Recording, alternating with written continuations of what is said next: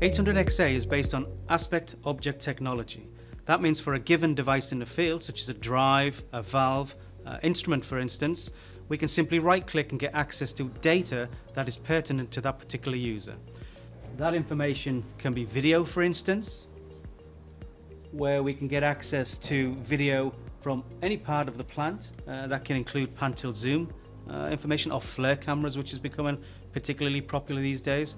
Uh, likewise, we can right click and we can get access to documentation, uh, either that resides on 800XA or in the client's database, such as EDMS Documentum, or indeed any other type of information which a particular user may need to do his or her job.